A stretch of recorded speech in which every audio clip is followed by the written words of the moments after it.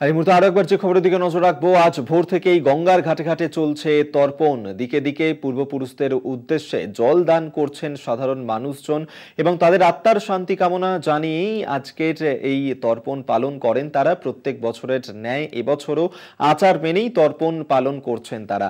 বিভিন্ন জায়গার ছবি সকাল থেকে আপনাদের সামনে আমরা তুলে ধরছি। এই মুহূর্তে যে জায়গার ছবি দেখাচ্ছি, বাগবাজার বাগবাজার ঘাটে।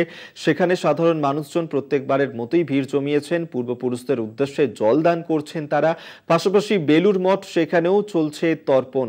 অন্যদিকে নবদ্বীপের ছবি একই সঙ্গে তুলে ধরছি। সেখানেও গঙ্গার ঘাটে যেভাবে মানুষজন তারা ভিড় জমিয়েছেন, তর্পণের জন্য ভোর থেকেই এই একই ছবি ধরা পড়ছে গঙ্গাসাগরেও।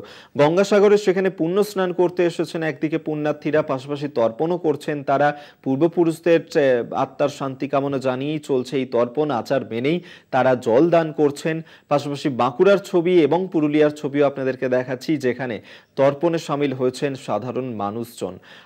আজ মহালয়া পিতৃপক্ষের অবসানে দেবীপক্ষের সূচনা আজ থেকেই বলা যেতে পারে দুর্গোৎসবের সূচনা হয়ে গেল এবং এই মহালয়ার পুণ্য তিথিতেই এই বাঙালির যে শ্রেষ্ঠ উৎসব, বাঙালির সেই শ্রেষ্ঠ উৎসব শুরু হয়ে যায়। আর মহালয়ার এই পুণ্য তিথিতেই পূর্বপুরুষদের উদ্দেশ্যে জল দান করেন সাধারণ মানুষজন এবং তর্পণে সামিল হন তারা বিভিন্ন জায়গায়, গঙ্গার ঘাটে ঘাটে, বিভিন্ন জলাশয়ে।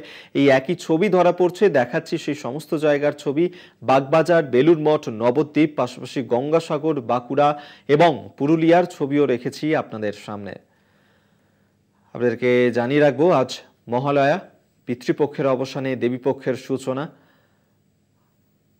এবং আজকের এই পুণ্য তিথিতেই গঙ্গার ঘাটে ঘাটে চলছে তর্পণ। শুধুমাত্র গঙ্গা নয়, বিভিন্ন জলাশয়েও একই ছবি ধরা পড়ছে। ভোর থেকেই চলছে তর্পণ।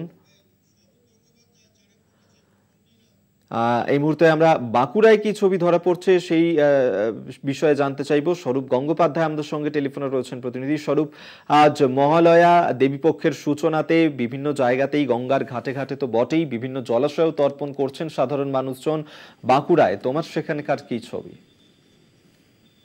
দেখো, মহালয়া সকালেই পিতৃপক্ষের অবসান এবং দেবীপক্ষের সূচনা, এই যে একটা সন্ধিক্ষণ মুহূর্ত, সেই মুহূর্তে প্রচুর মানুষজনের ভিড় বিশেষ করে পিতৃপক্ষের উদ্দেশ্যে তর্পণ করা।